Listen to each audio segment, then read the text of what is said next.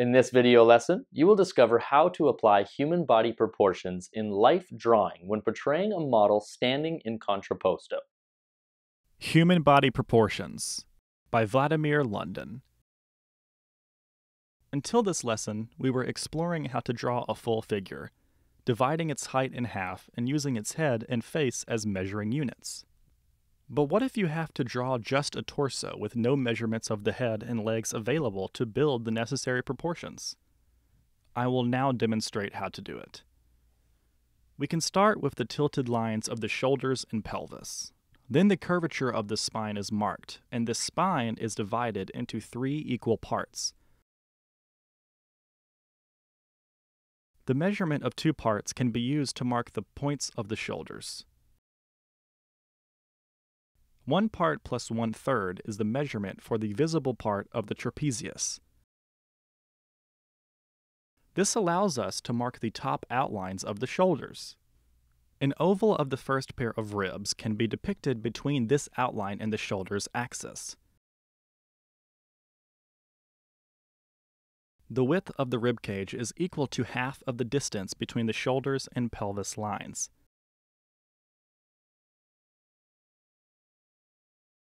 The bottom edge of the rib cage goes one part and a third from the pelvis line. The breastbone takes the top third of the distance between the shoulder and the pelvis levels. The top of the pelvis inclines at the same angle as the pubic bone level. The pelvis is slightly wider than the rib cage. The pelvis's top contour is simplified as an oval. We can now build a big triangle based on two shoulder points and the navel, which is one third from the pubic bone to the shoulder's line. The triangle's middle line goes through the end of the breastbone. The pit of the neck is connected with both ends of this line. The chest square corners are where two muscles meet the collarbones, the chest muscles and deltoids. The base of this square is the level where the deltoid muscles insert into the upper arm bones. Two lines go from the square's top corners in parallel to the middle triangle. The two points where these lines cross the big triangle are the locations of the armpits. The armpits and the pit of the neck can be connected by the chest contour,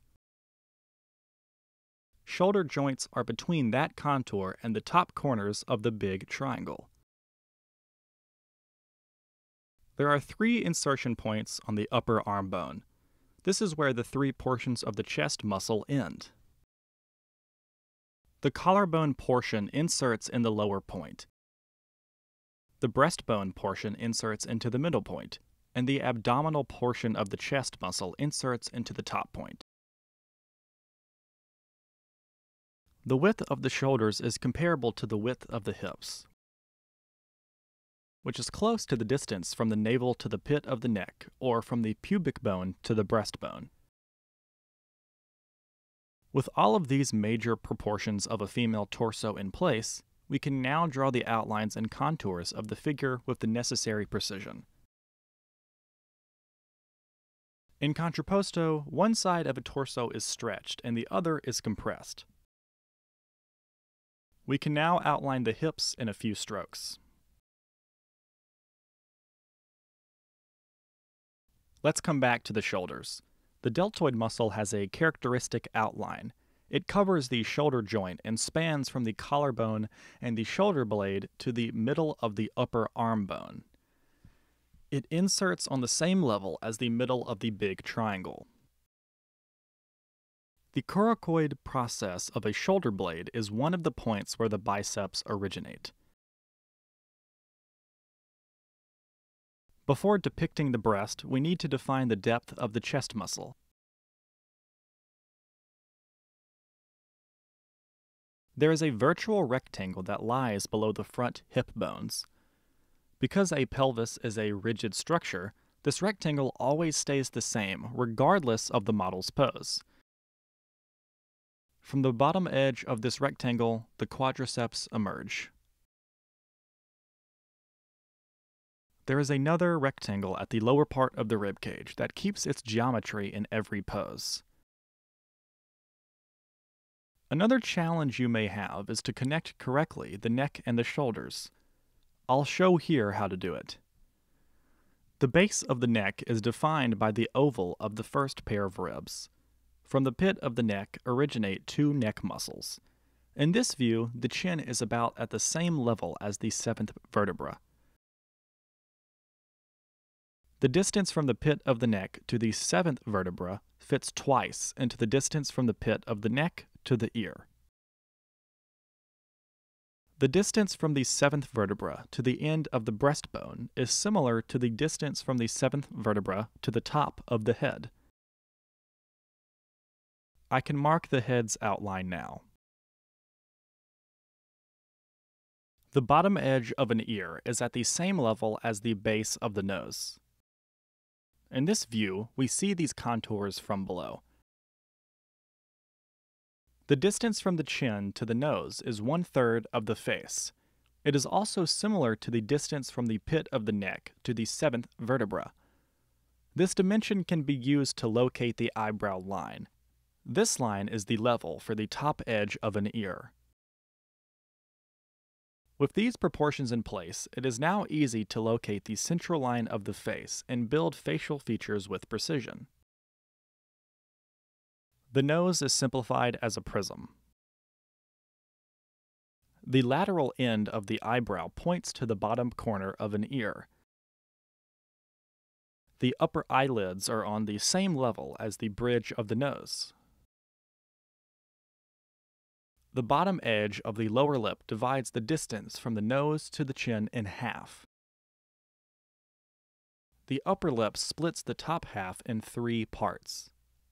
How to draw facial features is explained in detail and demonstrated in several dedicated video lessons of the Life Drawing Academy course. The line where the ear connects to the head is not vertical but slightly tilted. It is parallel to the line that connects the inner corner of the eye with the wing of the nose. You can see that the knowledge of certain proportions allows you to draw a torso with precision. The base of the nose is an important level. This is where the skull connects to the spine. It also helps to locate an ear. The line of the eyes divides the head exactly in half. The distance from the top of the head to the base of the nose is equal to the head's width. This is also the measurement from the chin to the eyebrows. According to one of the proportion canons, this is also the dimension from the base of the nose to the pit of the neck.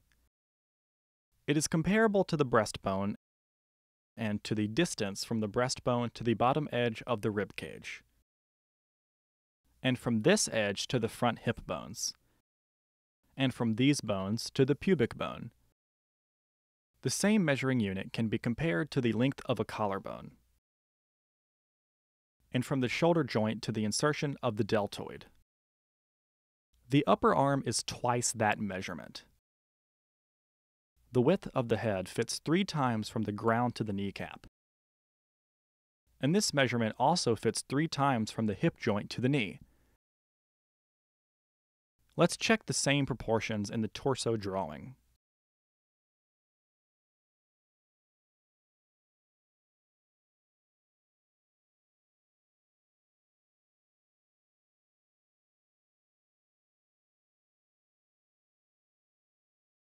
Let's come back to the figure drawing and recap the major proportions of the body. The middle of the figure is at the pubic bone.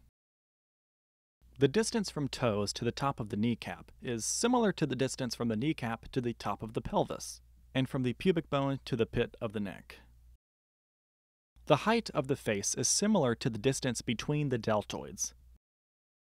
It is comparable to the height of the breastbone, to the distance from the breastbone to the navel, and from the navel to the pubic bone. It fits two times into the upper arm. The distance from the top of the head to the pit of the neck is similar to the distance between shoulder joints and the width of hips. Often, it measures the width of footprints in contrapposto. The length of a forearm is comparable to the length of a foot. From the chin to the eyebrows is the same as from the top of the head to the base of the nose. This measurement fits three times into the thigh bone. And finally, the dorsal part of the foot fits two times from the foot to the kneecap.